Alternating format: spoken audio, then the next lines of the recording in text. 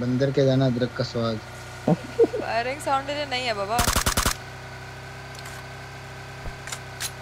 क्या आप मुझे बंदर बुला रहे हो? हाँ। भाई तो एकदम क्लियर बोल दिया काश यार।